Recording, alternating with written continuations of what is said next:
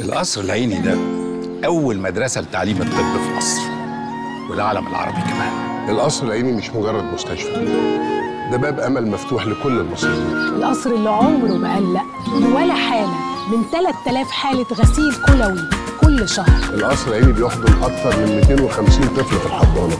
وفاتح بابه ل 100 ألف حالة في العيادات الخارجية شهريا وبيتكفل ب 250 عملية يوميا وزي ما عملنا أكبر وحدة للسكتة الدماغية في الشرق الأوسط بتبرعاتكم هنطور وحدات القلب والحروق والصدر. اتبرعوا للقصر العيني على حساب 190 190 في كل فروع بنك مصر عشان يفضل القصر لكل مصر. هذه الحملة مهداة من بنك مصر. نعمل معا لخير بلدنا.